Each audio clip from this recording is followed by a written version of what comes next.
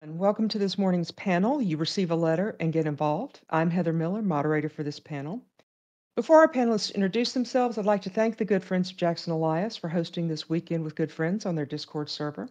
Interested listeners can find more information at blasphemoustomes.com.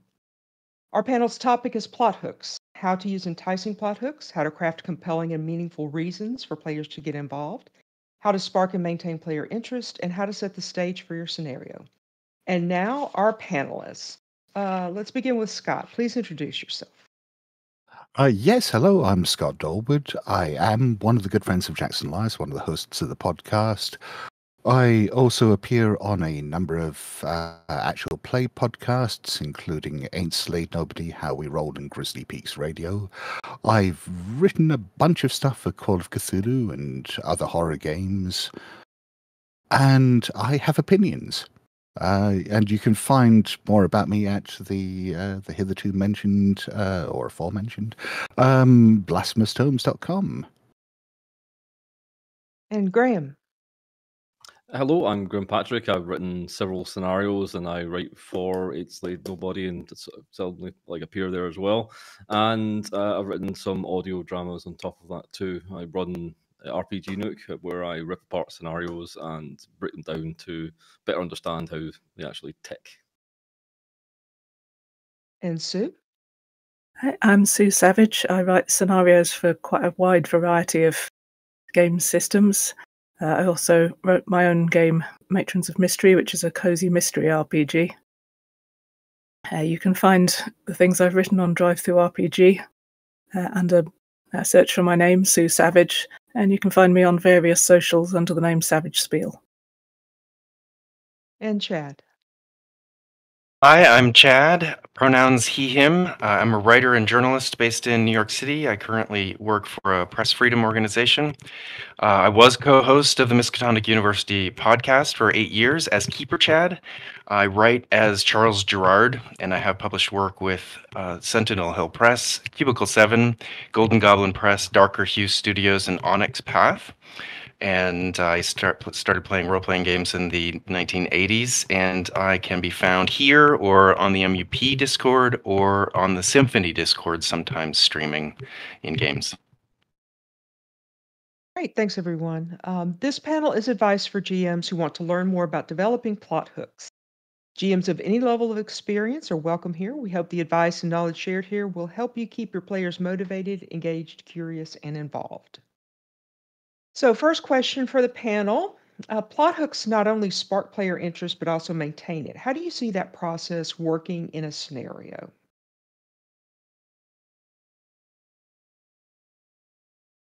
Um, I'll toss this one to Chad and Graeme. Okay. Uh, Chad, do you want to start, or do you want me to, to kick off? I, yeah, I mean, my first thought is uh, that it's good to get weird fast that uh, there's no need to bury or suppress the strangest parts of your scenario until later, until second act, because that is really what people are at the table for. So let them know that there's going to be uh, mystery, even if it's just foreshadowing, some mysterious bits, some things happening to them, um, descriptions, but definitely get in there and um, and let them know it's not just a, a murder mystery. Um, that's a way to to keep people's interest. I think after you know the initial body is found to have show some evidence or have uh, NPCs watching from the shadows or something like that to um, to pique interest. Yeah, sounds good. I think it, it, depends on what you want your scenario to be. Uh, that is valid. Mm-hmm. Doing that jump in the media res thing. I've actually I've, I've been had some some kickback out of media res. Like, why are these people in this situation, sort of thing?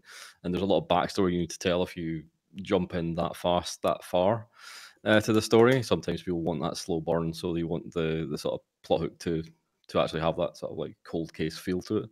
But it depends on what scenario you write for. I know Scott is very keen on the personal um, sort of being being being the story rather than actually following the story, uh, sort of thing. But it, the, plot hook I see is like you need to have like small little engines within the scenario to keep it going. So you get one plot hook, which will lead to another plot hook, which will lead to another one. You build up and collect these these small nuggets of drivers um, that will keep you moving forward, and eventually at the end, the, the player should be so invested.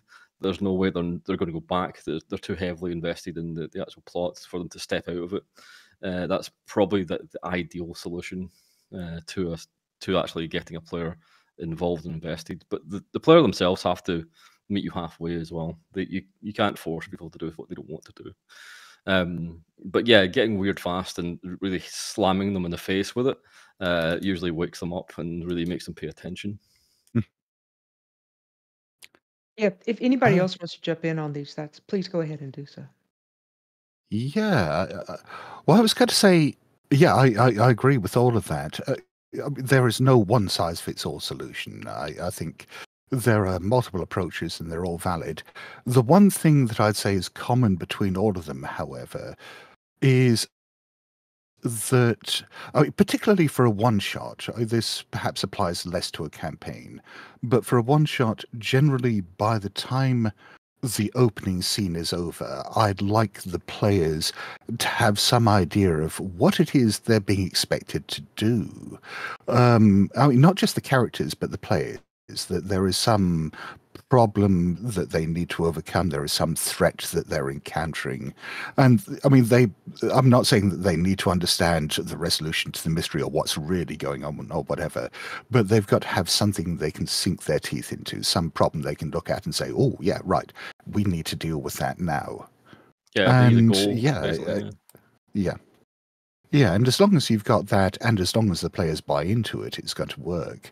But uh, some of the the worst scenarios I played are where you know you get to the end of that opening scene and it's sort of oh okay, well, what what do I do now, and why do I care about it? So, what are some, what do you think are some good details or good ways to make that hook, any given plot hook, feel personal and important to the PCs? This is especially true about maybe campaign scenarios or a scenario that, that you're going to pass on to others, that you're not going to be there to know the players and know the people involved and how to, because we could all plot hook our friends in, right? But what about people you don't know? I think your friends are harder to hook in because they're more likely to rebel against you. I think that's, that's the one thing. True. Really, Graeme? Tell us more about this. this is becoming a, a, a session. Um, yeah, it's like they, they tend to like breaking things more, and they'll they'll step out of the scenario more. It's like it, scenarios that point off the map basically are, are, are a real bane of my existence. Uh, I've come across a few of them, and like you'll get a like some sort of nugget of information, like oh, this started in Africa. We're going to Africa, guys, and then they'll they'll want to take that all Yeah. away from where you're going. So you got to be careful with that for sure. But um, to compel and to keep them in, in the actual sandbox themselves, uh, personal investment, something I'm I'm trying to kind of grapple with. Is something um, I'm trying to call like universal tragedy, something that will group them together and gel them together. And there's very few scenarios that kind of do that. Um, and you need that sort of like um, joint uh, sort of like motivation to, to to to emotionally push them forward. I think. Yeah, I think the game system you're writing it for can be really useful. Yeah. Yeah. Mm. Uh, I'm thinking of something like Delta Green, where it is literally your job. And so that is Yeah. inevitably going to drive the players forward because yeah, they're, they're doing this for a reason. And But when is the job not worth the, the the sort of like outcome of you dying? Basically, that's the the thing. Yeah, and also, and also, I'd say a job is kind of the opposite in some ways of uh, person involvement. They're both absolutely compelling and good reasons to get involved, but have you know being involved. told to investigate something is different than having a person investment. And the person investment side of it, the two tricks that I use that I, I I'd advocate, and they're not going to work for everyone. One is, uh, and this is something that you're not always going to have the luxury to do, is to tailor the characters to the scenario. Um, Yeah. I, if they that either involves using pre-gens, which tends to work best for convention scenarios, or giving enough of the background uh, with uh, to the players that they can come up with characters with a bit of backstory, and then you maybe take those backstory elements and hook them into the the, the scenario and sort of say, oh, hang on, yeah, they they've talked about their their difficult relationship with their brother. What if I replace this character in the scenario with the brother? And then suddenly you've got that person investment. I, and and the the other trick, which I think is a very simple one, and probably come back to a number of times in this, is just simply asking the players to come up with a reason why they care. You know, don't don't be afraid to do that. It's not the GM's responsibility. The player, you know, the player has got to try to find some reason why their character cares about all this stuff. And I, I've certainly played with people who perversely seem to want to fight against that at every stage. And you know, if if that's your inclination, you're probably playing the wrong game. Yeah. Yeah, and that's Yeah, I was There's gonna- more games out there that are going to make you happy if that's what you're fighting. if it's sort of the core of role playing is what you're fighting while you're role playing, then yeah. And so you can ask the players to do it, even if you are writing pre-gen characters, because the characters I wrote for when I'm running Scott's Unland, uh, most of it is pre-written, but uh, I always ask the players, uh, this missing person, Steve, uh, who is he to you? Why is he so important? Yeah, that's the one. I was Exactly. Well, it's, it's a great scenario. It's like it's got that universal tragedy to it because you've got that missing person you have to hook into. There's a reason you need to go to the park, and anyone can have that reason. So it's like uh, another one's uh, Rena's uh, Jolene. Um, there's Oh, like yeah, a, yeah. a, a loved one that's gone missing, and you have to basically go into that uh, mystery with that predestined sort of universal tragedy about your character. So I think one of the solutions is when you get that sort of like why are the players involved, you should really be writing down like, well, if you want the character to be a, have a personal investment, here's a couple of things they should uh, be touching in their backstory or like that sort of thing. I think if you have a like a published scenario with that, the players would be more inclined, or at least the keepers would be more inclined to tell the players to have that, and you'd have that personal investment on a, a more universal level. Yeah, I think a technique that's sort of between the published scenario where you have no idea who the characters are and and being the GM is to ask leading questions, and you can um, ask those questions in the writing. You can say, ask the players uh, about their, their uh, most recent memory of the deceased, or you know something to get as specific as possible. To give a toolbox for the GMs, and the GM's job is to then find the specificities uh, uh, in the characters and their motivations, and and I think it's great to draw it out of players at the table. Yeah. asking pre pre-existing questions to the players, I think helps them make s- uh, character. This all mostly comes down to make better bloody PCs uh, for your games. I think uh, that's one of the biggest problems: communicating that between the player Yeah. and the, the, the GM. Yeah. But so- also, oh, go go ahead. Oh, sorry, but but, but also that thing of t- uh, tailoring the um, pre-written story and the hooks of it to the the characters. I I think that's something that when you're a, uh, a beginning GM or in your early days of GMing, I, I mean, I'm speaking from my own personal experience here, and this may not be the case with a lot of GMs now because gaming has changed a lot since the early 80s. But um, when I, I used to feel that when I was given a scenario and there were the hooks in there, and, and honestly, a lot of the hooks in the early Call of Cthulhu scenarios were pretty terrible. Uh, that yeah, this this was how I had to play the scenario because this is what's written, this is what I bought, and so this is what I, I, I have to run. And you know, the idea of, of swapping out NPCs and stuff like that probably wouldn't have occurred to me then. But yeah, it's it's that confidence thing, and I think you just have to remember that no one needs to give you permission to change these things. You've you've you've bought the stereo. You've you know, you've you've you know you've downloaded it, uh, and yeah, it's it's yours now. Do with it as you please, and if that involves changing all the NPCs, changing the opening hook, whatever, yeah, do it. So that's a good point about published scenarios. Um, so it, it what what do you see as the difficulties? So you, you know you've got the your group, and then you've got maybe a larger group at a con that's a one shot, and now you've got a published scenario. Um, how do do those difficulties change? Um, If so, how? In what way? Well, you have to basically cater for a wider audience. The wider your audience is is it's a Hollywood problem actually, if you think about it. How Mm. how diverse do you want your audience to be? How niche do you want your audience to be? Uh, if you want a, a diverse, huge, wide audience, like you're appealing appealing to everyone, that sort of classic thing, you shouldn't try to appeal to everyone, but uh, you kind of have to because that gives you the broadest way into the scenario. So someone might bring like Stanley Ace along to the game. Um, was a pre-gen from uh, Doors to Darkness. They might just want to use that character, they like that character, so they bring it and try to shove it into your scenario, and they should be allowed to do that. That's what they want uh, to do. Um, Mm. so you have to like cater to that. Um, so scenarios need to be wider uh, if you want to publish them. I think.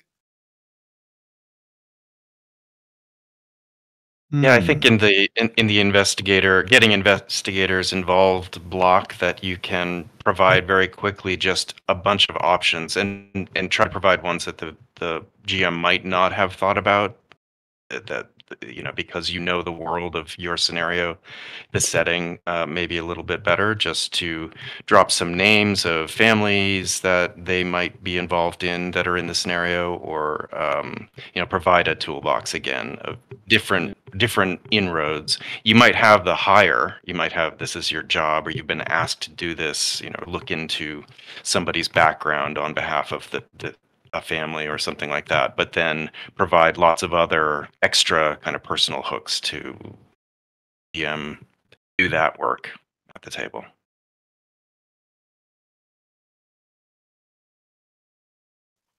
All right. So let's. Uh, Oh, I'm sorry. Go ahead. no, no, sorry. Uh, yeah. Well, um, oh, damn, I had something there and it's gone. uh, oh yeah, no, no. I, uh, yeah. Well, I think there is a a deep fundamental problem, however, with generic hooks, which is they become trite very quickly. Oh yeah. And there's a reason why this panel is called, you know, you receive a letter, because we've all played those classic Call of Cthulhu Cthulhu scenarios where it's, you know, you receive a letter from your Uncle Oswald that starts with, I'm probably dead by now, but, and, you know, it's, uh, and, and you, you have to pick it up there. Or the, the one that I've encountered in too many convention scenarios, which is, yeah, uh, Lord Arthur Generic has called all of you together into his drawing room. Uh, you know, none of you know each other, and he is sort of he's called in his manservant, his lawyer, his haberdasher, and so on. And it's well, clearly, I personally can't get involved with this, but you now must, you strangers who are completely unsuited for this task, must now gather together Yeah. in my name and fight evil. And it's oh, for fuck's sake. Yeah, that's that's a huge problem with it, and that's why you, you kind of need that something to tether them to it a bit more. Uh, I think being on the cold case and following the trail of something that's happened before you is, is fine, but along the way you need to give them the personal reason to to stay in it, uh, because eventually they'll hit that big gribbly that will just go, nope, I'm out of here, and uh, it's gonna be hard for them to to go into the house basically where they know that thing is.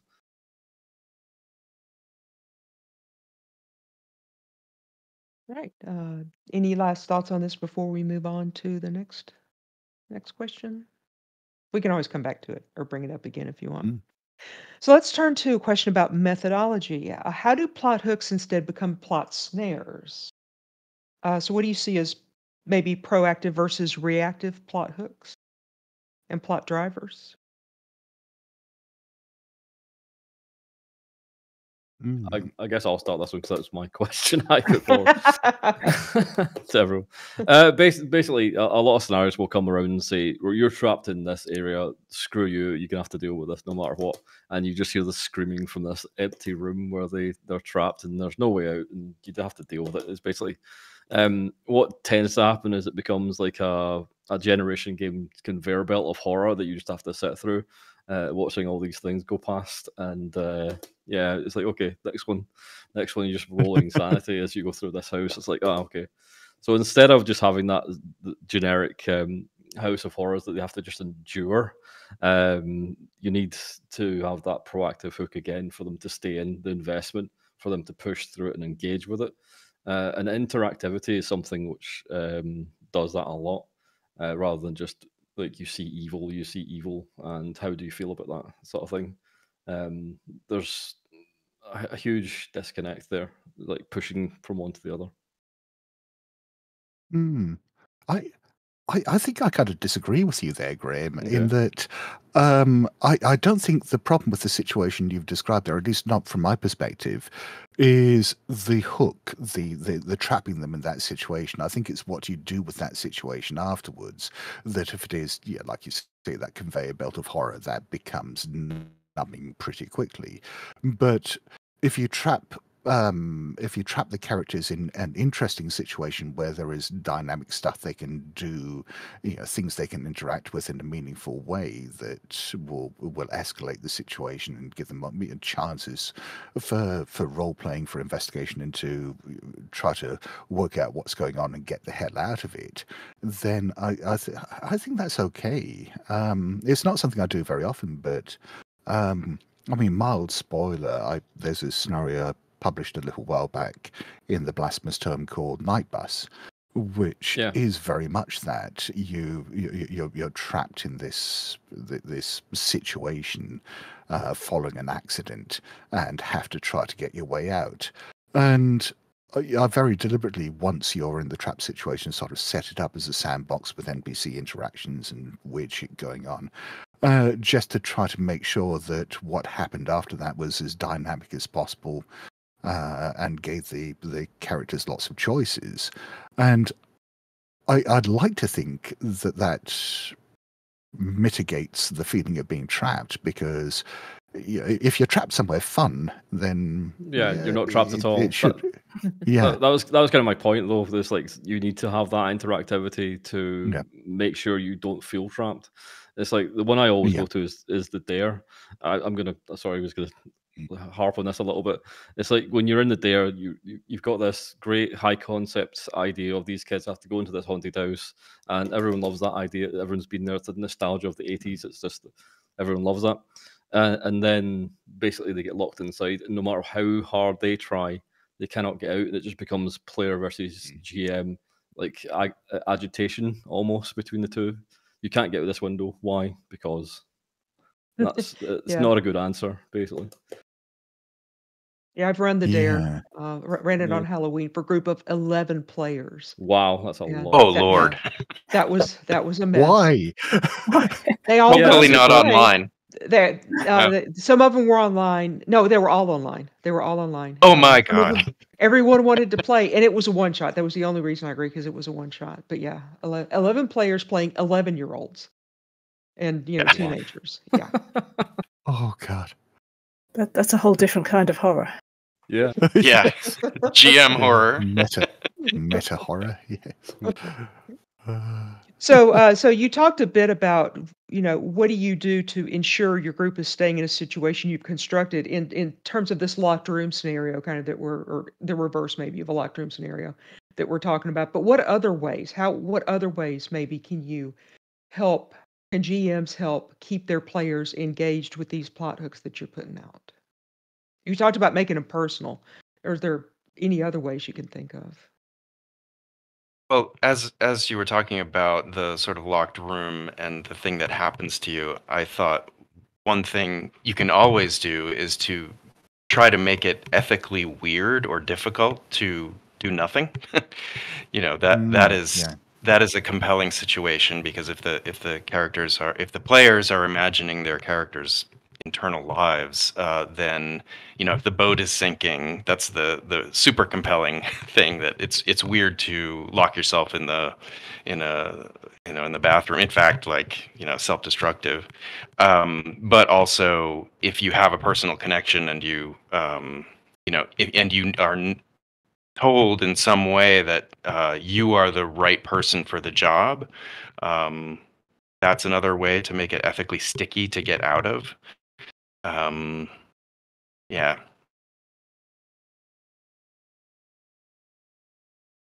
Yeah, I mean, along those lines, I mean, definitely stakes. As long as the the players understand what is at stake and they care about it, then that's it.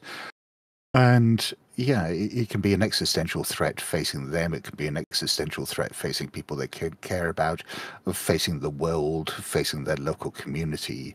But as long as they, un- you know, they understand this is the problem and this is what happens if I do nothing. I mean, doing nothing is always an option. They can just sit back and watch the world burn. I have had players do that. In which case, yeah, you you can narrate the world burning around them. but um, yeah, it's it, it, it, fundamentally is it's up to them to decide that as long as they understand what's going on, you know, how, how they're going to engage with it. That's one thing that I think Monster of the Week does well because it encourages you to write a, a countdown of. It starts off with the the initial incident and then progresses through various stages of what happens if the players do nothing. And, mm-hmm. and you can decide at what point the players are joining in the scenario, and that's the point where you write the hook. So what happens oh, when nice. they do nothing? Would you well, say? In, in, the last one I wrote, it, it would be that the the entire world gets absorbed into a haunted house. Oh, okay. Ooh. Mm. Do you play that out? Actually, sounds kind of fun. Yeah, it does. I do want to see that, that happen. To be yeah, fair, I want to see what that. were happen. the stakes again exactly? Because I'm here to assist. Yes, that's interesting. I mean, what do you do if you've got uh, if you've got players who turn out, or maybe a, a faction of the piece, the players at the table who end up wanting to assist what they are supposed to be fighting or ostensibly Scott? have bought in to fight. I mean, even mechanically, that can happen, right? You can you can mm-hmm. flip a oh, character yeah. based on this, based on the player's imagination, or on mechanically the loss of sanity, or or something else like that. or a bargain. I love I love when an NPC offers a bargain. Yeah, and the player takes it. Why not? I don't see I don't see any reason to stop that. Well, the, the clear cut yeah. answer if if you have like something which is like you, there's clearly only one answer or one solution to it. That's a, that's not a great idea to have for you. Always want that sort of moral dilemma at the end, so you kind of mm. want people to, to to have that sort of struggle. But I, would say a lot of it depends on the group you're running it for. And if you're going to play a game like that and run a game like that for strangers at a convention, for example, I always think it's worth putting a content warning that there's potentially going to be PV, PvP mm. conflict in the game. Because I certainly have played with strangers at conventions who absolutely hate that, who've come into a game with something like Hot War and thought, oh, hang on, I, am at odds with the other characters. I don't like this. I don't like this at all. Which, is fair. I mean, I'm not criticizing them. It's, it's a matter of taste but yeah, you have to be upfront about that, that it's a possibility. But yeah, I personally, I absolutely live for those games where the stakes are complex and uh, enough that yes, you can take different sides, and you often do get schisms in the the group uh, you know, people, some people siding with one faction, some people siding with a different one, you know, maybe setting up their own faction. And, uh, you know, just the complex interplays you get there. I, I personally, I find those the most exciting games to play and, and to GM. I actually find games where you're sort of forced to do or go toe the party line more conflicting than ones you're allowed PvP in because you're expected mm. to do something and that can cause more rifts between the players than not because everyone's looking at this one player who doesn't really want to do that one thing but they, they're kind of like concede to do that one thing um it can be a little bit awkward yeah. at times well, you, but but I think you can play with that expectation in quite yeah. fun ways. I, I mean, there's certainly a couple of campaigns I've run uh, where you are set up as employees of an organization and you know, you, you, you're given reasons to do things. And then it turns into a sort of RPG equivalent of the Milgram experiment. It's sort of, you know, how much can you ramp up what you're expecting the, the player characters to do before the players turn around and say, hang on, no, no, no, no, burn it all down. You're not going to be employed with that attitude. No. Yeah, if you've done your job as GM, finding that specificity that we talked about to tie each of the player characters into the scenario with high stakes, those are likely going to be different, right? So each each each PC Yeah. is motivated by something different, maybe by money, maybe by status, maybe by uh, ethical quandaries, maybe by for political reasons, um, or you know, very personal reasons, and those are likely to be at odds at least sometimes. That's one reason Yeah, I like doing scenarios for Alien. Is Mm. because part of writing a cinematic Mm. scenario is giving everyone a personal agenda, and those are very frequently at odds with what the other players want to do. Yeah, and and similarly, Hot War and Cold City, I think, are particularly good examples of that because it's baked into not just the setting but the mechanics. When you create characters for those games, you have uh, your your members of factions, and the factions each have their own agendas that are in conflict with each other. But the the characters are also members of a group that is tied together that has got a task. And then on top of that each person has got their own each character has got their own personal agenda. And so the personal agenda may be at odds with the faction agenda. The faction agenda is almost certainly at odds with what the entire group is trying to do. And so you know at, at that stage all you really have to do is set up an opening scene and watch the whole thing explode So yeah, it we've talked to you can't talk about plot hooks without talking about plot, right? Because that's that's ultimately mm-hmm. the larger context for a plot hook, right? But what do you do when you have you, you're at the table and you've presented your plot hooks, and suddenly you've got a player who doesn't want to go along with, you know, the, their their character's agenda, or doesn't want to go along with your agenda, or whatever, and uh, and and you're in the middle of the game. Uh, and it a little different from flipping what you were talking about, Chad, flipping a character over to you know the dark side or whatever. Um, what if you've got this player who is now resisting uh, resisting the hook? What do you do with that? You give them a shemp. Uh, basically, that's what I do. If I give you an NPC that basically bothers you all the time and gets you into trouble, that's because you've been sitting around a lot. So I, I attach a player that, with an NPC who's just an arsehole and he's just there to annoy you and get you involved in the hook. Um, I literally mailed an NPC to someone in a suitcase from New York to London in masks. Uh, and, a, and just all these piss bottles like rolling out when he opened up. Uh, because this player was he, he- was an interesting player. Um, I, I, basically, you know, like the opening scene where they go up in the hotel and sort of like he refused to e- engage in the the actual opening scene. He wanted to go Oh. to the bar and sit, and it's like, oh, okay, this is what's happening. So that's why he ended up with this this character. I also you also like you need to give them make the mundane dramatic. Basically, is, is another thing to do. If they want to do something like go to a tailor shop and they just want to shop for the day, um, one of the things I Mm. did to the same player was I turned that uh, tailor shop into um, a, a Russian spy like outpost. Uh, so he said a word and they went, "Oh, "You're you're our guy. Come with us. We need to show you all this stuff." And really sort of like pull him into this this sort of horrendous plot of him being meant to be the spy when they've got it all wrong. And he's trying to go, "No, no, no, I'm not anything to do with this." And they're like, "Just put, take him in the back room where the, all the guns are." And uh, really get him involved. wasn't sort of that a. Fry and Laurie sketch Yes, yes, absolutely was.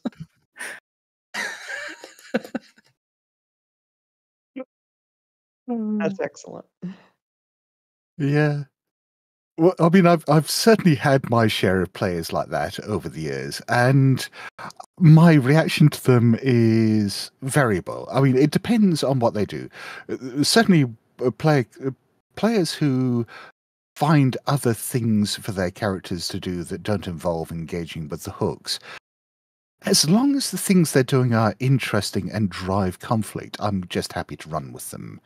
Um, the the only times I'm unhappy with it are when you have players who just plain won't engage. And I mean, uh, some of that you know, may well be down to you as the GM and how you're presenting stuff, in which case you, you need to think about what you're doing and why it's not engaging and talk to the players and find out why that's not the case. But I, I certainly have played with people who will sign up for horror games, but then decide they're going to very much play their character like an ordinary person who is frightened at everything, but to the extent where they will spend the entire game hiding under a table or whatever while everyone else engages with what's going on. And I'm I'm, I'm not saying that's not um, a, a reasonable reaction for a character in that situation, but it's not a very fun thing to role play.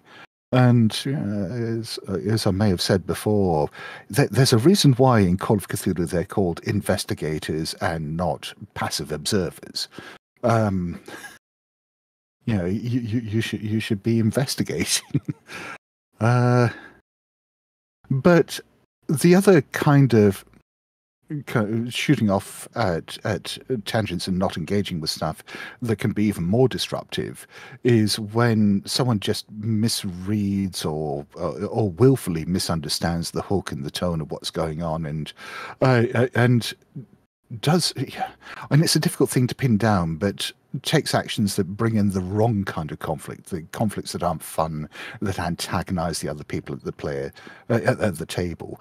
Um, the, the one that always sticks with me I, is that there was a convention game I ran many years ago. It was a pulp convention, uh, pulp, pulp. Um, it wasn't Cthulhu, but a pulp convention game that was set on board a Zeppelin in the 1930s, and there was some kind of Nazi plot going on. And uh, they, at some point, one of the player characters just decides, actually, I think the Nazis are pretty sympathetic. I'm going to side with them. And it's, everyone was looking at, what the fuck?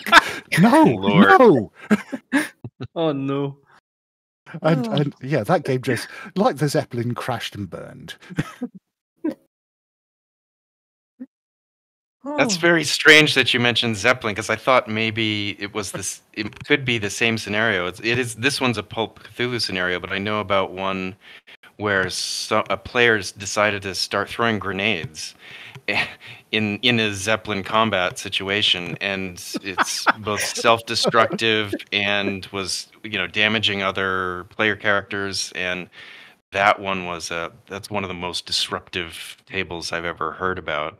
It's funny at both that's uh, in zeppelins, different places. Must be the altitude, right?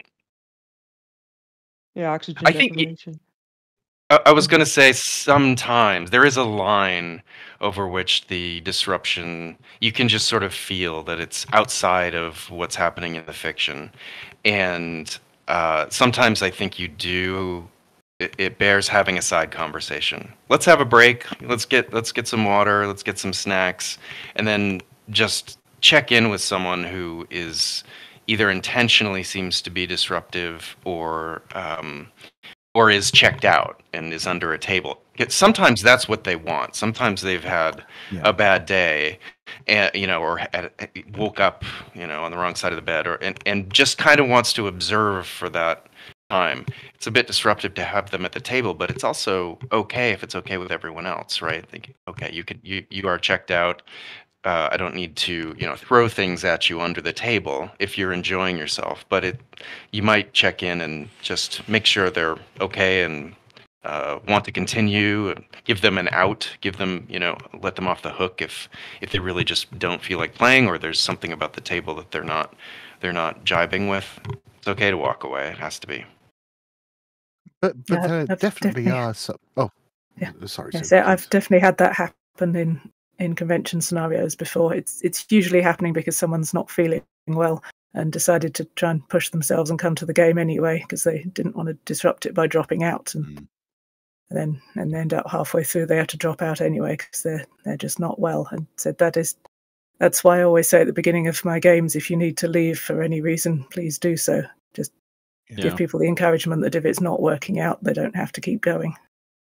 It's it's a lot less disrupt, disruptive to leave a game you're not engaged in than than stick around and be a distraction.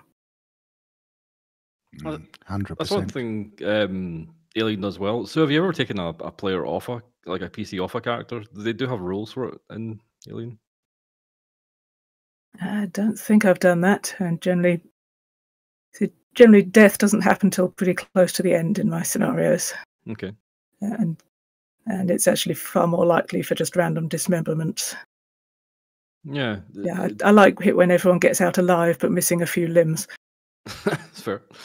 Yeah, it's, it's got an interesting built-in rule where it says once the player becomes too antagonistic to the group, it's taken off them and they become an NPC basically. Mm. It's an interesting thing that's to actually add to the, the scenario rules. Yeah, I think that Um, kind of thing's going to work particularly well in uh, campaign play for Alien, and I've, Yeah. I've only done one shot so far. Hmm. But it's not even just off days. I mean, I, I certainly have played with a couple of people over the years who just seem to be allergic to engaging with the premise of the game. Yeah. And I don't know if this is just sheer contrarianism or whether it's some kind of maybe you know they they they've felt social pressure to play a horror game because that's what everyone else is playing, but they maybe at their their heart they don't actually enjoy playing horror games, and and so this is their way of sort of turtling and disengaging from the whole thing. Um, but yeah, I, when I, I did end up in a few of the scenarios that I wrote a while back having to come up with the ways. Uh, if, you read uh, Bleak Prospect, for example, that I, I uh, published in Nameless Horrors years back, there are all sorts of little things in there about how to keep the characters involved. And it's because I playtested it with this group in the first place. And it, it, it was just this with, a couple of them, it was this almost antagonistic thing of, well, you have to give us reasons not to run away at this point. You have to give us reasons not to call the police. You have to give us reasons not to just burn down this house that's got the NPC that we're trying to rescue in it. And uh, yeah, it, it, it, got really weird. And so, yeah, I, I just had to kind of proof the scenario against that, which was probably an overreaction, but uh, it's left scars. I, I ended up writing a very sarcastic one page RPG called We Call the Police, which uh, I'll, I'll, I'll, I'll put a link to somewhere, which is just really about how to engage with that behavior. Well, no, it's not about how to engage with that behavior. It is a cry of existential pain in the form of a one page RPG. So that's an Yeah. advantage if you're running Rivers of London because you are the police. yes. Yeah, it does. Makes sense. I, I think this comes back down to collecting little little motivations along the way to so it builds to a, a sort of they have to go in or it kind of goes against everything that's gone before. It's the I guess it's the the, the sort of positive, a slower burning scenario. You can like give them nuggets uh, far more sort of clearly, rather than hit them in the face with one set piece, and then when they come out the other side, they go, "Well, that was interesting," and then just go back to their normal lives, sort of thing, which is something that can happen. Mm. Yeah. I think at a convention, it's difficult to quickly triage what the problem is with a, a player who is not engaged. Um, when you have, when you know your group, you you can have a longer process of figuring out what, as a player, they enjoy uh, playing. Hi, Kitty. Um, what as a player motivates them at the table if you haven't found it yet if uh, investigating the uncle's death is is not the kind of hook that they like that you can quiz them and and give them more yes and at the table for the things that they do like Excuse me. Yeah. But if the if, if that initial hook is not what they want, they shouldn't really be in that scenario. Is is kind of the point. Yeah. I think. yeah there's only so, much you can do Yeah, Yeah. they have to meet you So- halfway at least. Yeah. Uh, Yeah. Everybody, please talk about one of your writing projects that, that would illustrate uh, how you developed plot hooks that work, especially in, in terms of uh, helping players find their own reasons to engage with the premise that you're offering in that in that scenario. Mm. Well, I could say s- a, a way that I've cheated and uh, and I and I really enjoy is is the locked room, and I I did write the boat is sinking scenario. So you know uh, Mm. you're going to do something. You're either Yeah. going you know if you're going to be super passive, that is just a self-destructive act, and that's on you. Yeah, you you can play that. That's absolutely a choice. Um, but yeah, I actually really like the house is burning, the ship is sinking, the hurricane is is upon you, whatever it is, um, because it's it's too compelling to to really um, pretend you're not engaged with. The stakes too high. Yeah, put them in survival mode, basically. Mm. Can't do that every time. Yeah. That's that's why I say cheating because it's it doesn't work for every investigation where you've received a letter. You know. Well, it's a different type of thing. It's like survival. I think is completely like it. You've got cold case, you've got survival, you've got personal trauma. These are the three sort of like big categories. I think most things fall into. Um, yeah, I like a survival a lot, especially if everything's limited and you have to make like bad choices, basically. Um, Mm. Yeah, uh, yeah, but oh gosh, one ones I'm particularly happy with the way they worked out. Again, I mean, yeah, like Chad, I think that um, that that feeling of suddenly having this this exist- sudden existential problem to deal with works quite well, and you know, I mean, as I mentioned, Nightbus does that, but if you're looking at ones where it's it's a more general opening and one that can bring together a group of disparate characters. Uh, the one i'm probably happiest with is one that Graeme's played which is the meat trade. Uh, where there there is an opening scene in that where I, I won't go into the full details but um, it takes place during the London Blitz in 1941, uh, early 41. And it's a group of uh, characters in the East End who have been dealing with the bombs falling every night for. Uh, for for months and months, and have built up their routines. But they're there one day, and the bombs have come earlier than usual, and they've had to find a different air raid shelter than their habitual ones, and they've they've gone to one of these new above ground air raid shelters which turned up in later on in the war, which were notorious because they just weren't very safe. But they've had to use one of those just out of sheer desperation. And it's this group of players coming together in this unfamiliar air raid shelter and sitting there as the bombs are dropping and realizing that, yeah, someone or something in their midst isn't quite what it appears to be and shit goes down. and that, that, that as a hook, I think actually worked really well for bringing the group together. yeah, that shared experience, that's trauma sort of thing.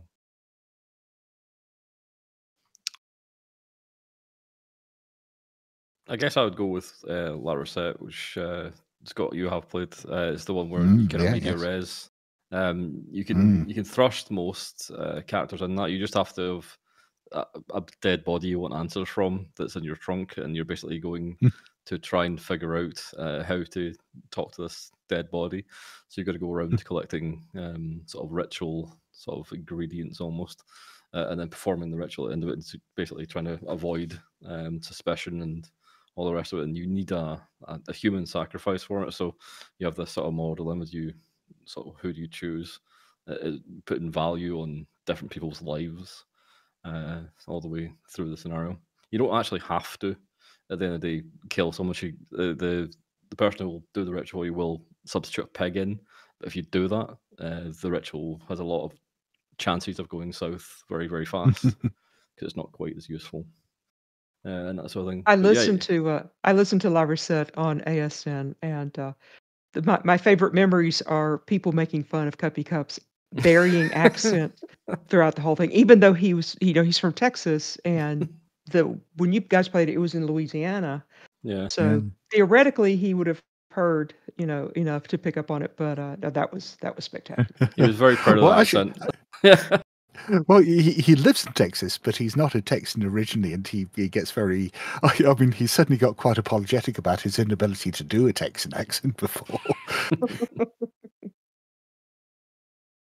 So what else? Uh, what else do you guys? What what other writing projects of your own uh, have you had had this work well? in?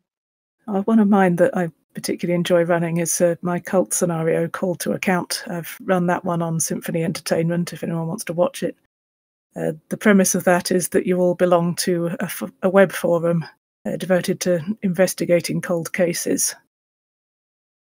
So you've got four characters who, uh, on the face of it, mm. look entirely unconnected. They're all just members of this forum. Uh, but uh, some of them actually have a very personal interest in the case. Uh, some of them it is more professional initially, but as things unfold, uh, you start to find personal connections. And it it's not it it can be a kind of locked room thing, as there will definitely be points in it where you can't escape the situation. But uh, for, for quite a lot of the scenario, it is just that that strong interest in solving this case is what keeps people in the building. Mm. Yeah, yeah, I played that with you, didn't I? That, yeah, that was a lot of fun. Uh, yeah. Yeah. I, I, I mean, as a, as a sort of counter example, one Sue mentioned earlier, a scenario I wrote a while back in Fear Sharp Little Needles, Unland, was I, I, I think almost the polar opposite of everything I've been talking about because Fear Sharp Little Needles is an odd collection in that the the maximum word count for any of the scenarios was 3000 words. So you had to be really sparing with what you put in there. And I mean, for anyone who's ever written a scenario you, you know how little you can fit into 3000 words. And so there were all sorts of compromises i had to make in how i conveyed information there. And a big thing in that was i didn't really have the luxury of putting in much in the way of solid hooks. And there's a little bit where I throw out a, you know, a couple of one line ideas, but it really then becomes an exercise in creativity for the GM and the group to come up with their own reasons to get involved. And certainly when I've heard about people playing it and come across actual plays online, that actually seems to have ended up working very well because it does mean that it, it, it, inherently becomes tailored to each group because you know there isn't a fixed hook. It's just a location and you have to come up with your own reason why you go there. And I've, I've certainly seen some great ones. So i mean when we played it with ain't slayed nobody a cuppy cup came up with a, a character who'd yeah, had had two really good reasons for uh, for it. One is that you know, set in an, an abandoned amusement park, and he'd worked there as a teenager before you know, it had all closed down and wanted to go back and, and revisit it uh, because he had some personal history with it. But he was also someone who was obsessed with amusement parks. He ran a, a web forum uh, with it and just wanted to go out and document it. And yeah, that, I mean, neither of those were things that really would have occurred to me. But they, they ended up um, drawing his character in perfectly and, and leading to some really terrible things. Uh, do you think there's a or do you have personally maybe an easier era to write plot hooks for? Uh, do mm. you find it's easier to do modern for for yourself, or is it easier to maybe Call of Cthulhu Classic, or is there something that that uh, that lends itself better to your process? I think the further you go back in time, the more people strive to even just survive and get on with daily life. So stakes are higher the further you go back. I think um, it's like the hooks become a little bit easier because to lose something, um, say if you're Old West, for example, it's like I've got a scenario fever where everyone's traveling to um, the, the part of the 49ers traveling to California. They've got everything in a in one wagon. This, that's it. That's their whole life. Their whole existence is in one wagon. It's like if they lose like just the horse, then they lose the wagon, then they lose everything. So it becomes far more essential for them to succeed. Uh, where modern scenario, you can have that uh, element where everything's on the line, but there are like support networks and stuff like that for getting people off the ground. For back then, there's nothing, absolutely nothing. That is a dilemma with going back in the past and and writing hooks uh, is that if your hook depends on historical context, then you've got a barrier to entry rather than mm. uh, you know something more compelling. It, that, so on the modern side, you have the luxury of people immediately understanding the environment and and why they might yeah. be motivated, whereas um, even in the 20s, you you have to explain the context too much for your hook, you might revise. Um, you can always bring in context throughout the scenario. I, I think if you have to teach how things are, I mean, I guess I think of uh, Brett Kramer's machine tractor station. Oh no, I forget. Is it 37? Um, 47, I think. But yeah, no, 47. I'll be right over here, but Yeah. Is it? Yes, Anyway. that, I that could, one. I could. Google, but anyway, that one. Um, you know, that requires some some historical context because the characters are at odds with each other. They are from, you know, uh, some are from the party and some are from, uh, you know, local uh, local factions and whatnot. And so you do sort of have to have a basis of knowledge there, but you can also be pretty quick and um, and just say this is what you want. Um, but anyway, the, so the further back you go, the more you might have to provide a little context to help with the, the entry points. Hmm. And I think there's also an emotional distance when you're dealing with stuff that happened in the past that you don't necessarily get in the present day. Where if, if you're if you have a modern scenario the character the, the players can probably empathize, empathize with the characters in this situation a lot more immediately and it might feel more real to them. But if you're playing say something about gangsters in the 1920s their connection with it is going to be entirely through media. And as a result the it- it's it's um, going to feel detached straight off. It's going to feel like a story. It's going to be easier to lean into tropes. And that's not necessarily a bad thing. It can be a very fun experience. But it does it, does perhaps make it a bit more difficult to make it uh, kind of personal and emotionally connecting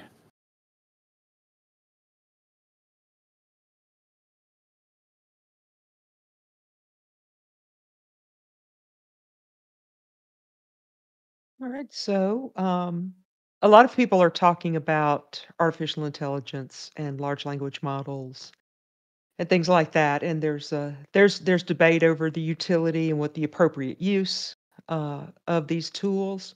Um, and there's plot hook generators. I don't know if you guys have have Mhm. researched this, but there are AI plot hook generators. Um, a lot of YouTubers are using them, um, and you know even before that, you know, there were random plot tables in in books. You know, D and D, the the infamous Dungeon Master's Guide of AD and D was mostly tables, random table generation. Mm. Um, so this, you know, the kind of a, a a continuum of all that. Um, do you use any of these? Uh, and what would be your advice, maybe for a new GM who is trying to sort out what to do about all of these options for plot hooks? I'm for using everything you possibly can get your hands on as far as what to do at the table as GM. Uh, use the AI if you want to use ChatGPT to play with ideas. I don't think that's a crime. Don't pull text and try to publish that.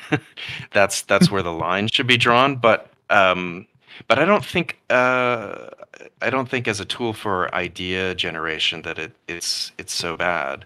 I also don't think it's all that new. Like you mentioned, tables have been around forever, and uh, there was this book Plotto uh, for oh yes pulp writing. yes. Yeah, Plotto, the master book of all plots. With uh, I, I looked it up, William Wallace Cook. Um, that has it's for writing, but you know, um, this is before role playing games. Anyway, um, so I think you use all of that. Whatever's comfortable, whatever helps you generate ideas is great. Um, and then and just pay attention as a we're talking about GMs doing this. Uh, pay attention to what motivates you at the table because most GMs are first players. Um, take notes when you feel compelled by a plot hook that somebody else is is running you through and figure out what types of plot hooks you respond to because they're probably the ones that you're uh, most able to render well at the table. And I think you're overall going to get better results if you're using a, a random table that was specifically written for that game. because Yeah. whoever wrote that knew what they were doing, and ChatGPT doesn't. Uh, So I've got an entire Kult scenario that I, I just run using the Kult tarot deck, which is basically one massive random table. Mhm. Uh, I just spend the whole session drawing cards and pulling ideas off them. Mm. But yeah, that that deck it's not a standard tarot deck. It's specifically tailored to Kult and its cosmology. So yeah, I think you're going to get better results with that than a, I would with a large language model. Yeah, I agree hundred percent. I I have played with AI tools, and I, they're. I, it's not that they're terrible, uh, but my experience of them is that the stuff that they come out with tends to be very trite and obvious. Yeah. And because, you know, it is just fundamentally remixing other things that people have written. And so, you know, you're not going to see anything desperately original coming out of that. Random tables, I think, are quite interesting because you don't necessarily have to use them as they're written. Um, for a start, quite often I just look at a list of random tables and rather than rolling for something, I, I, just look at the item that appeals to me most and think that one because you know why the hell should I roll a die and hope that I get the one I want when I can just say you know that, yeah, that one one. and and yeah, I mean it's kind of like that thing of you know making a decision by flipping a coin because you know once the coin's in the air you know what it is you actually want so you, you you're not beholden to the result of the, the thing that comes down but but I mean it's having those external sources of of, of um, inspiration is absolutely fantastic. Uh, very different from what Sue was talking about there, but um, I've I've run a lot of completely improv games on Ain't Slayed Nobody uh, over the course of the last few years, and what we tend to do there is go out to the backers and say, "Oh, yeah, give us a suggestion. Yeah, here are like five categories of questions. Give us some suggestions." And we won't use all of them, but um, what'll happen is we'll either look at some of them in advance and use them to generate characters in the situation, or some of them, you know, we'll save for play and just sort of think, oh yeah, uh, uh, um, I'm stuck for an idea now. Let's choose this random element here and see what this does to the game. And my experience of doing that has really worked very well. So yeah, yeah, those those sort of random sources of information as hooks, as long as you interpret them, as long as you make them your own and don't just read out what's there, yeah, it could be fantastic. Yeah, it's definitely a tool to to look at, but you say it's very generic. Uh, what comes out of these things, um, and they tend to lie as well. And there's a f- famous case that came out a couple months ago. Was like some lawyer used it to Oh, uh, use, and the the case they cited was fictional, just made it up on, the- on the spot. Um, it's interesting how it's actually evolving to, to lie more and more. To be, yeah, I don't know, but yeah, I mean, you live on a planet with what seven billion apex predators that you're always like online perpetually with. It's like everyone has a story, everyone's doing things for motives. It's like read the paper, um, look at biographies. Look, that it's like these new um, sort of AIs are nothing compared to just the vast like quantity of human people on the planet who are all just as intelligent as you, going about their day. It's just another one basically. It's uh, very accessible.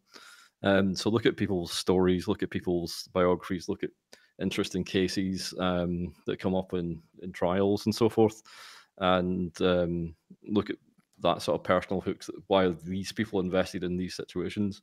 And maybe you can find something that interests you, and then you take that and you smash it together with like an interesting setting or an interesting uh, plot line you've been having. It's like the best ideas, the best um, scenarios and hooks always come from several ideas being fused together uh, rather than one singular idea, which will get you only so far. So Yeah, it's interesting how how there there's this tension between sort of the personal and the general that you know, it sounds like you guys have been saying is that to have a good plot hook, it needs to be intensely personal, at least for the the player characters, uh, if not for the players themselves. It needs to be intensely personal, but at the same time, you have to generalize that. You have to bring it out into the open so that it can engage with the real world of the scenario, because that's a much more diffuse um, diffuse situation than the internal life of the PC. And that tension is is where uh, I think the interest in all, all all the work has to go in. Hmm. Um. Yeah, I'm not sure. Uh, it was my turn for Scott to disagree with. He's disagreed with everyone else. It was my turn now. Yeah, right. That's. I'm a very disagreeable person. Um, yeah, I, I, mean, it, it, it depends. I, I, I may have misunderstood your your premise there, but I, I, I think in terms of you don't you don't always have to think of the generic at all in terms of of hooks. So much of it depends on how you're presenting this, how you're running it, a scenario, how um, the, the, whether it's something that's for publication, something that's for a general audience, or something that is tailored to a particular group of players, a, a particular group of characters, which you can do with the convention game as well. So you can make it all in, you know, intensely personal to the characters without any thought to the generic. But that's something you probably can't do too well uh, in a published piece of work because unless you're providing pre-generated characters for it, which you know, I mean, that's exactly what we did in Nameless Horrors. But um, unless you're providing pre-generated characters, it's it's got to be at least slightly generic. Otherwise, there's going to be no way in for uh, for most groups. Yeah, that's uh, yeah. What I was talking about was that that idea of the published scenario. Um, that at some point it's got to be released out into the wild, and yeah, and yeah, you know, at what point are you do you do you realize that these plot hooks that you're writing are in fact you're you're in fact writing a movie script, you know, that you have this really contained world. Um, and and and you have to break those boundaries because otherwise you don't have a game anymore. You have a different kind of of experience, a different set of roles and a different set of expectations. So those boundaries and that tension um, between the two. I think is is is to me the most interesting part. Negotiating all of that. Well, I, I, I mean, I don't think starting off with a strong premise that that has characters that are tailored to it necessarily stop something feeling like a game. Um, what's important is the choices the players make once they, with those characters, once they engage with that premise, and that's what stops it feeling scripted. That's what stops it feeling like a railroad or a passive experience of of consuming media. So I I don't think that's in any way changed or negated by having a very strong tailored premise. Um, and Right, I I agree. I think I'm I'm talking more Yeah. about the uh, how how much constraint those plot hooks can put on the entire the um entire scenario. You know what I'm saying? It's not just the premise, Yeah. it's the entire scenario. How how uh how tight a constraint set of constraints are you putting in? Um, but go ahead. I, I don't think it does because because you can change the hook at any point by introducing a new factor or a new vector into any story Mm.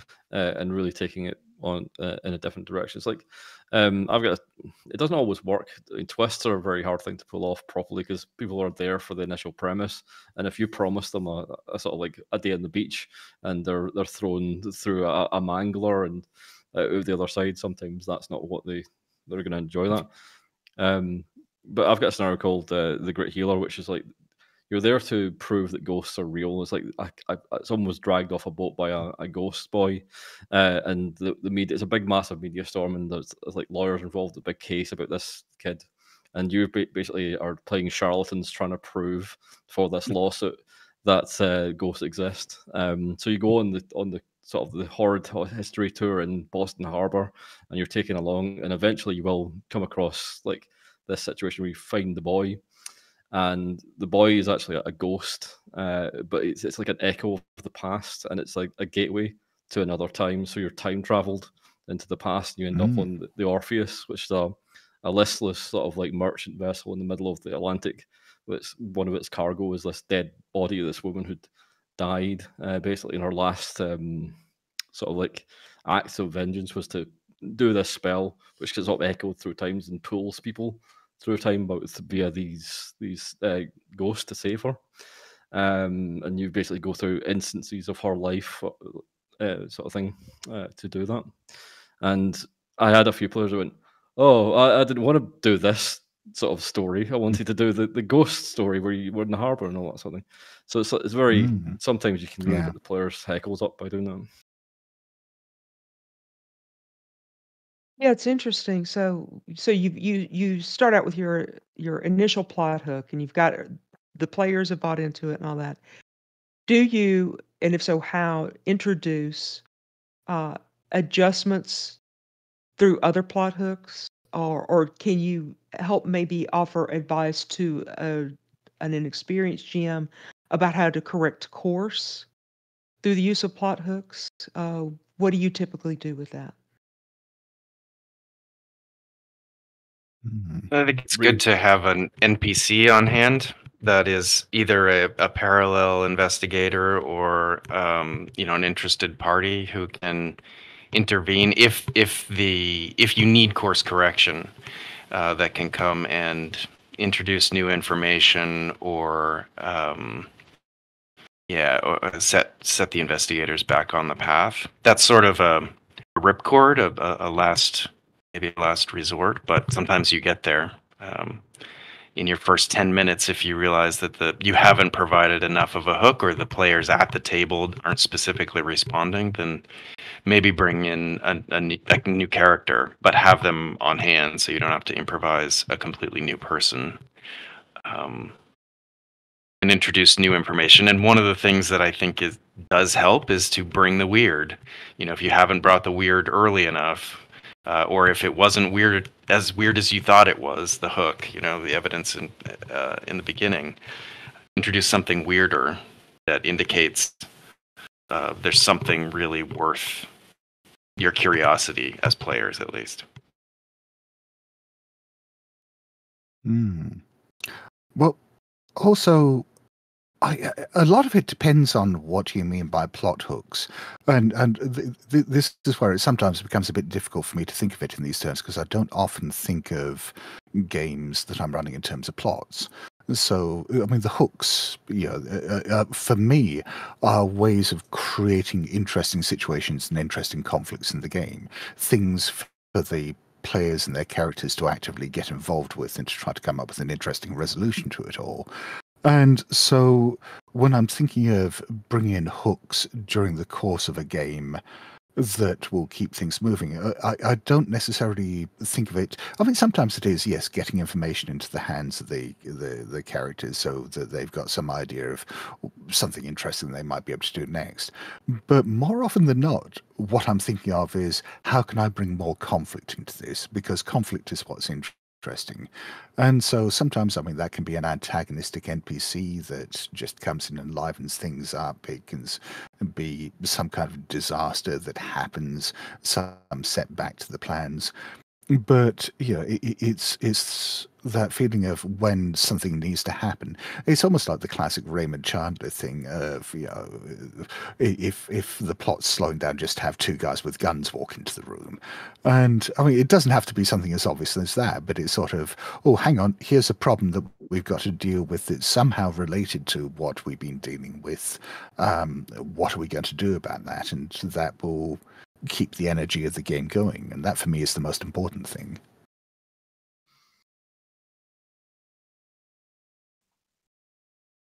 Yeah, I'm going to go back to Alien actually because it does something very different. Uh, as I, I, I like Alien a lot for some some reasons. It's like the way it presents games is it gives you three act structure, and within them three act structure, it gives you events uh, that you could throw at the player. Mm-hmm. And I, I feel like they're just some of them are new hooks. Like they have mandatory and like like um, optional choices for each of these things, and the mandatory ones tend to be the ones which will reinvest the players into the direction. It's it's great to put conflict and muddle the, the story with that sort of thing.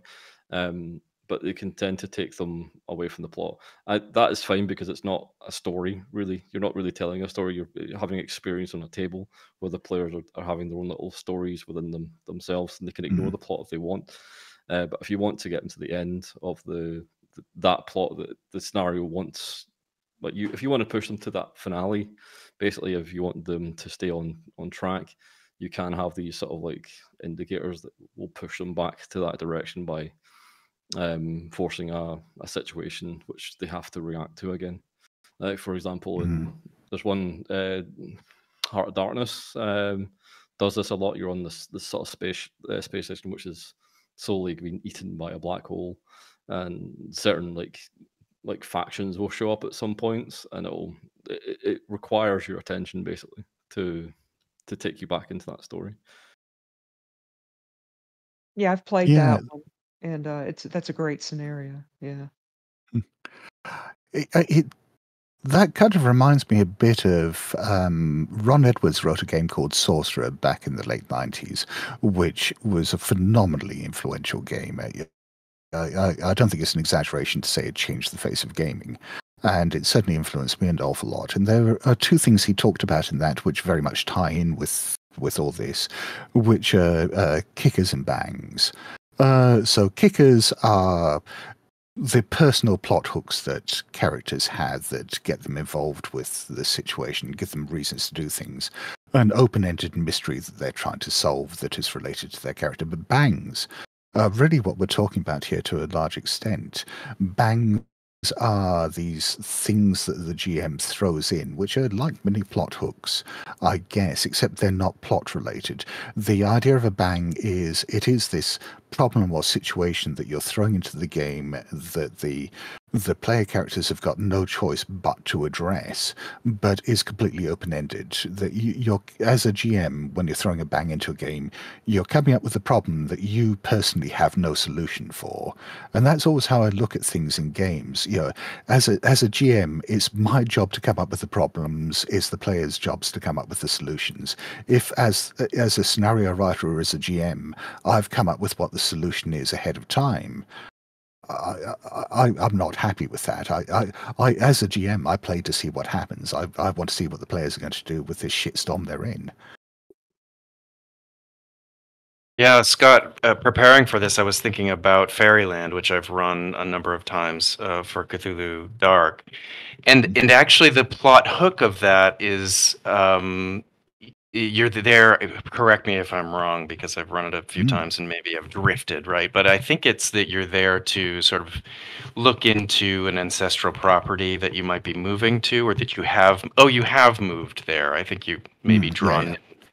yeah and um, so so you're there. That's the plot hook is that you, that you've already invested in this community. Um, you haven't just wandered in, and then it feels like uh, what you were just talking about is this. There's a, just a number of bangs that get you involved because the plot is you live here. You know, the plot Yeah. hook is the you live here, um, and then it becomes a sort of Twin Peaksian uh, series of encounters with weird stuff, and um, and it's wide open. It's completely player driven as to which direction that they go. Um, but what you've done is provide this huge toolbox of ways to get players to have players react and to have players chase their curiosity and you have a number of different things that you can do if if one thing doesn't work you've got at least you know three other things that that can happen um, so the whole thing is a series of plot hooks in that way, Mm, just like yeah. you were talking about. Yeah. Yeah, that's very much how I think of, of scenarios. I, I, th- I think of them as a, a situation and a series of problems rather than a plot.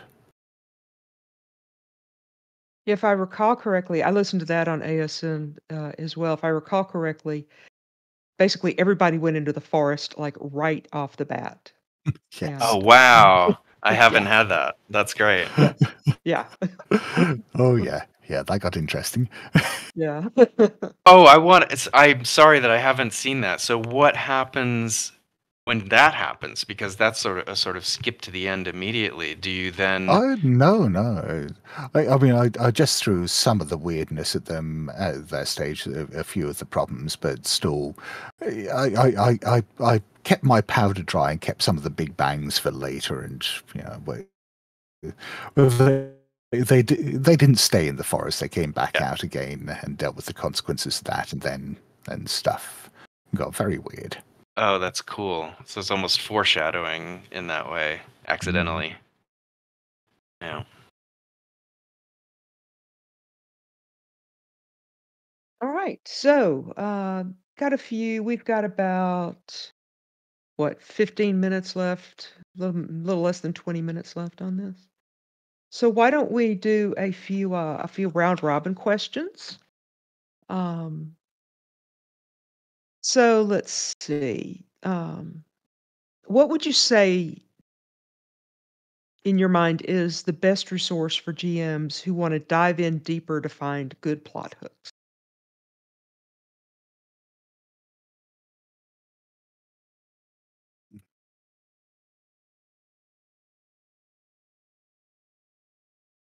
Well, the two obvious ones, as far as I'm concerned, are one, just read other published scenarios, see what other people have done, um, because you know role playing games have been around for 50 years at this stage. The kind of investigative games we're talking about with Call of Cthulhu have been around for at least 40. And there have been a lot of scenarios published in that time. And some of those, particularly in the early days, some of those hooks are pretty generic and uninspiring, but there have been a lot of very creative people writing scenarios over that time. You know, th- thousands and thousands of them published, and many of them will do things that you just do not expect. And you don't necessarily have to use them as written, but just see what other people have done and take inspiration from that. I, and, and the other thing is, I mean, just consume media, read books, watch films, watch television programs, and see the different ways in which uh, characters are drawn into situations. It, it's funny. I was watching. Uh, I hadn't seen it for like 25 years, but I watched uh, Farscape recently, Hmm. um, the science fiction series from the late 90s, early 2000s, and I'd forgotten the sheer economy of the writing in that. It sets up the entire premise and gets the characters involved in this very weird situation within like 20 minutes of writing. Uh, in the first episode, uh, really sets that up well, and it's a masterclass in that. But also in each of the subsequent episodes, the the, the sheer efficiency with which they set up a premise, a, uh, sometimes a very weird premise, and get the characters involved with that is just breathtaking. And and honestly, if you're looking for inspiration for for hooks, yeah, watch Farscape. So the recommendation I've seen, if you're looking for a plot hook, is to pick a random episode of the X Files. Mm. hmm Everyone seems to be on an X File like bent recently because they're re- relaunching, aren't they? Oh They yeah, are? yeah, I think so. yeah. Ryan Coogler, yeah, is doing it. Yeah, I'd say I wouldn't discount uh, uh, children's media either. There is some very strange stuff out there, uh, apparently written for children, which is nevertheless absolutely terrifying. And Well, if, if you're explains looking for us, sort of- right? I yeah. mean, yeah. if you're looking like British folklore, I mean, the, the, Yeah. the TV I watched back in the 80s and, and the books it was based on, people like Alan Garner, there, there is a, a wealth of plot hooks in there. Not even not even that. Bluey keeps keep coming up in conversation everywhere. Everyone loves Bluey. Yeah, I there, mean, there's been so many conversations I've been in online about Bluey that Bluey is now showing up in my Spotify feed. and I'm like, I don't have children. I'm not going to have children. I, I should I watch this anyway? Apparently so. It's all about characters and stuff. Like, yeah, probably. Um, I, I've watched a couple of episodes. It's pretty interesting. Um, I would say for this, understand people, like learn how people work and how to develop characters, and you you'll get plot hooks from people, um, sort of desperate situations and stuff like that. It's like if you understand what drives people um, forward, it's always like them that are going to get into the story and become the the sort of like main sort of focus of these things. So it's like if you like um yeah i'd say read biographies and all these sort of things see the interesting people and interesting stories and like surprisingly like, like rare events can uh, sort of get your imagination going and, and really sort of uh, yeah take you in different directions. Uh, diversify your reading a lot. Basically, don't stick in your own little circle. Um, just pick up books uh, and see what what sort of you can get from it. Uh, it doesn't really matter what it is, but uh, you can take any, anything away from a, a random piece of literature, even if you hate it. In fact, bad literature tends to be something you should probably do. I think it was uh, Stephen King goes uh, talking about good trash and bad trash sort of thing. Mm. Um, uh, yeah, it's like you got to read both because so you you know what's bad and what's good. And and also, yeah, I could do better than that is a strong motivator for writing something. Absolutely is, yeah, definitely. Or make that specific thing better, right? Yeah. Yeah. Improve upon that idea. That's what I was going to say is that you, it, it's not so much a resource, but a methodology that you look at what you like in media and bec- start to become conscious of what a plot hook is in in literature it's the inciting incident and you know the same in uh, film and uh, the sort of linear narratives look at what you like um, and go and take notes go back and take notes but what, what was the hook? Sometimes you might find that the hook wasn't as was wasn't the thing you noticed and it Mm. might not be the most compelling thing. It might be you know the second act that really drew you in. Um, but if you start to pay attention to what you like because we don't always notice plot hooks and we don't necessarily remember them by the end of a novel or, or whatever it is Mm. um, so study yourself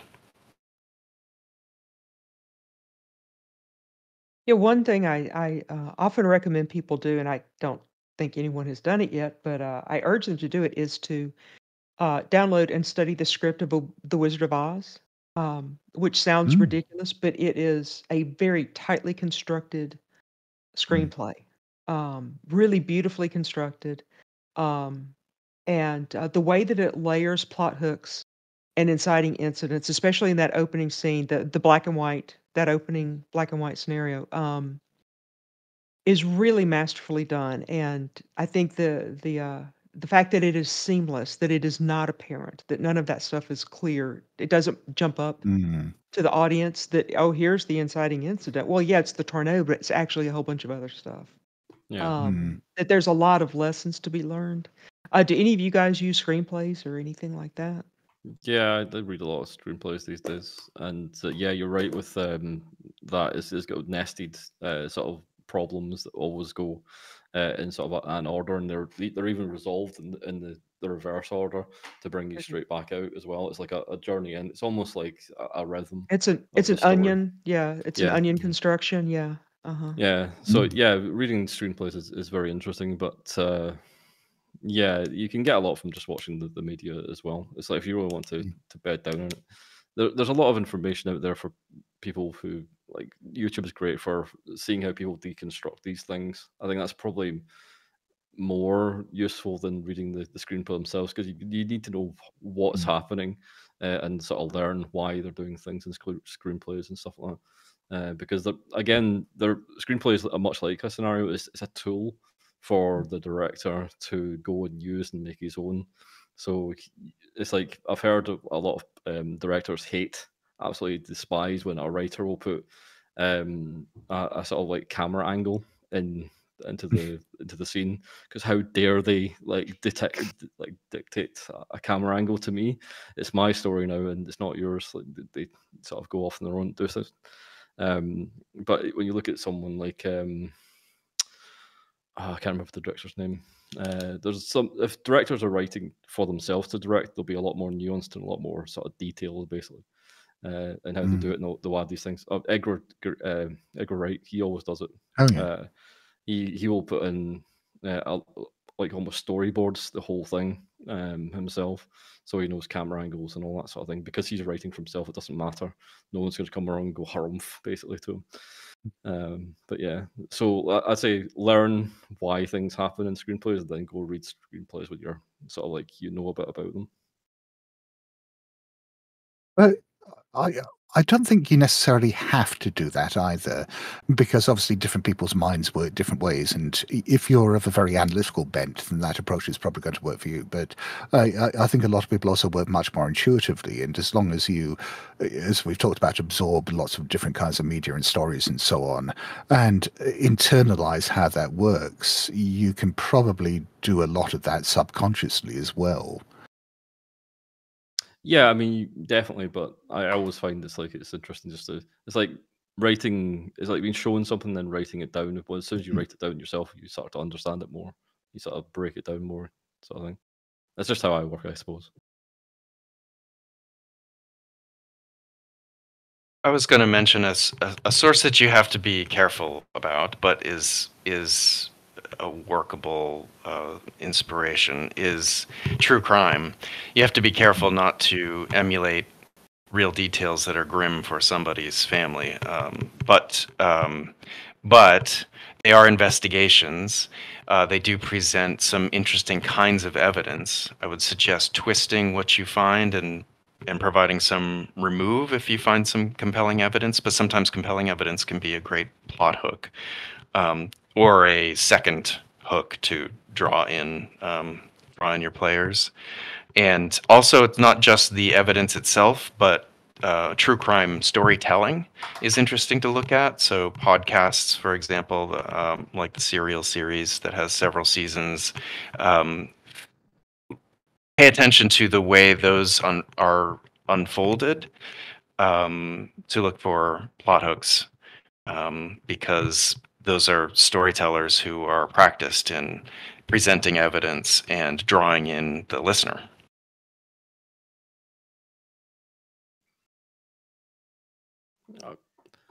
Yeah, I'd also say uh, don't worry too much about things being troped. Uh, people like tropes a lot. There's a lot of people who go after tropes, like they'll seek them out and stuff like that.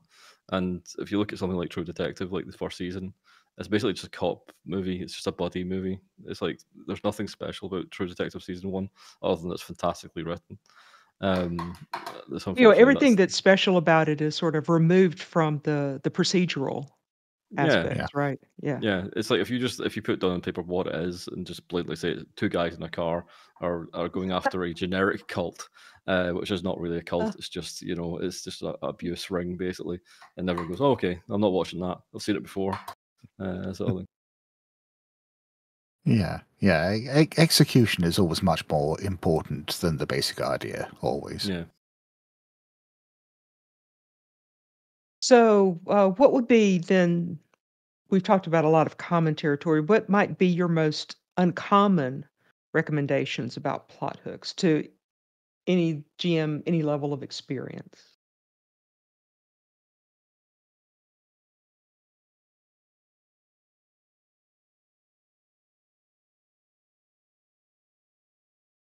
I had a thing that I, I'm not sure that it falls really falls under this question, but a, a process that I do um, editing, especially editing journalism, but now uh, you know editing scenarios as well. That it's just a little magic trick, and I almost hate to give it away because now someone you know edited by me will know what I'm doing.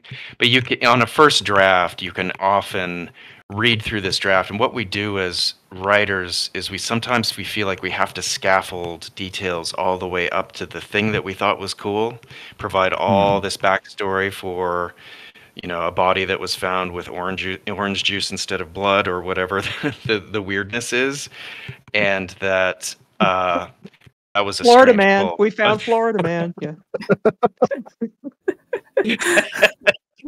Well, at least we know he didn't die scurvy. that's a that's a great scenario title, Florida Man. Um, but anyway, that uh, you can um, you can look sometimes three, four paragraphs down in your first draft and find the real first paragraph or the second page. Um, it's the fifth page because you've had to build this entire world. You know, in the beginning there was light, and the, you know we often do that because we got to get to the moment that was probably the real idea that we had on the bus on the way home, or, or you know, the, the thing, the kernel that was the hook for us for our own idea. We sometimes bury the lead, and so that's a trick. Uh, is to when I when I taught writing, uh, the university level, uh, there were many, many student papers I would go through and X out like the first two or Mm. three because I had found where the essay actually started. Exactly. This is start with rewrite this and start with this is your first paragraph. And uh, And I would say they, let hated me, but you know, right. actually, And I would they, say they let loved me, yourself but- yeah, let yourself do that. Let yourself Mm-hmm. let it, scaffold as much as you want on the first draft. You know, fire your editor, they say, right? And just uh, let it fly. But then be aware on your revision, and do do a revision before you present the material. um, that you've probably buried it because you had to warm up for quite some time, and a lot of the warm up is often dry. But I'd say also that RPG scenarios are a bit unusual in that respect, in that uh, that may be a structural thing, but some of that stuff that you're cutting out in the first few paragraphs, if it is backstory and setting and you know the explanation of how you got there, that may still prove to be useful information for the GM. I, it's something I struggle with sometimes when I'm thinking about what to actually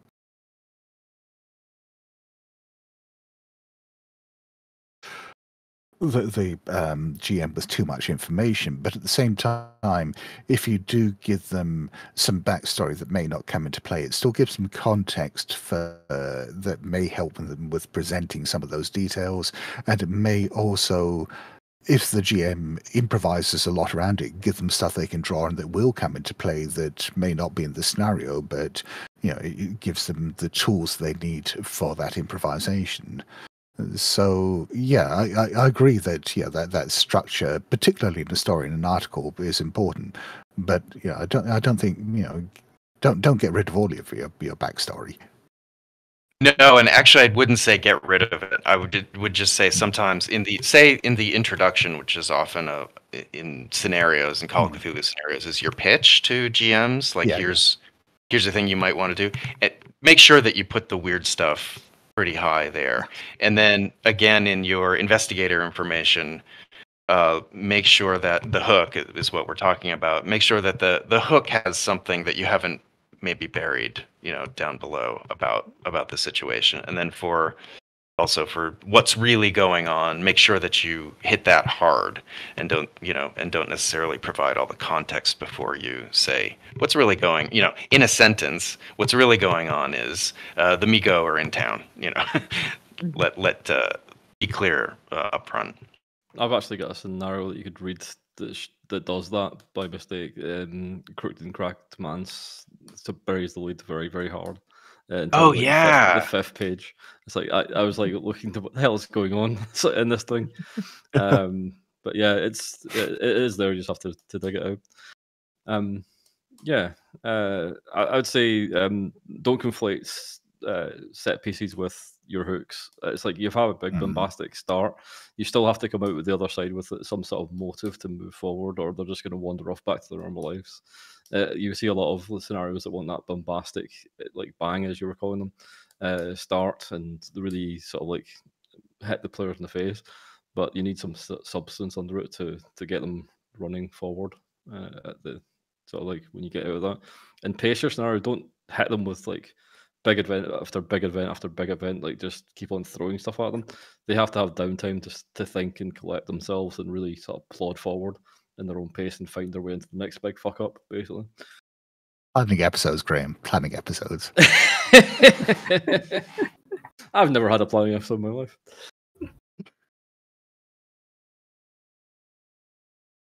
Uh, I can say that I, I do think letters are a fun way of doing plot hooks. That they just need to not be cliched. That said, my favourite letter as a plot hook that I've written myself is is one where the, the premise is a, a dead body has been found in a river, and the, the PCs get a letter from the river itself written Oh. on a leaf. Excuse me. oh, I like that. Yeah, so it just a duck shows up with a large leaf that has got scratched on it, body in me. Oh, that's brilliant. great It's very, very Studio Ghibli. That, that- Uh, uh, it's All fun. right. Well, we are we Yeah. are pretty close to ending time. Any any postscripts? Anything anybody wants to add before we close? Yeah, uh, I mean the the one bit of advice I'll always go back to is get your players to do some of this because it's all very well you as the GM trying to come up with reasons why the characters and probably more importantly the players should care about what's going on enough to engage with it. But no one is going to have a better idea of what's going to make them care than the players. And so if if you've got a basic situation, uh, a problem that's that's you know that, that's at the core of this scenario, yeah, uh, don't be afraid to go to the players and sort of say, well, why should you get involved with this? What what what have your why will your characters want to want to investigate? Why will they want to put their lives on the line? Why will they want to have to engage with some really terrifying stuff and not run away? And you know, if the players can make themselves buy into that, that's most of your work done for you. I'd like to build on that and say to give advice to listen intently to your players and what they're mm-hmm. telling you because they will tell you what they are motivated by um, and you can you can build on that. As players and the characters themselves if you are listening to the way that they are interacting with the world you can pull those things out and then ask leading questions to to gather more details yeah, I think it's always good to ask a player what's their character's true beliefs about the world. Uh, oh yeah. Uh, what is their what's the lie they tell themselves to get through the day, sort of thing. um, these two will sort of drive the player a lot to think about it. But Session Zero is there for a reason. Um, use it wisely.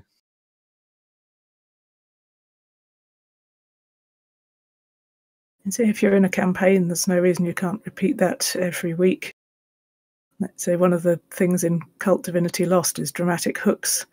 So at the end of the session, each player is supposed to have two things that they're hoping to achieve in the next session, and that's very handy for.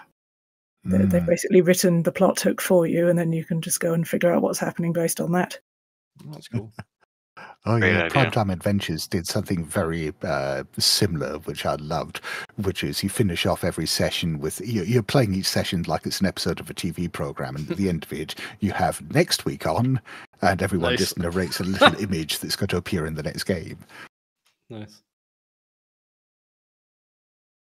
Right, well, thank you, everyone. That concludes our panel on plot hooks. Many thanks to our panelists for their ideas and advice, and thanks once again to the good friends of Jackson Elias for hosting this weekend's event. Visit blasphemoustomes.com for more information. Thanks, everyone. Thank you very much. Thank you.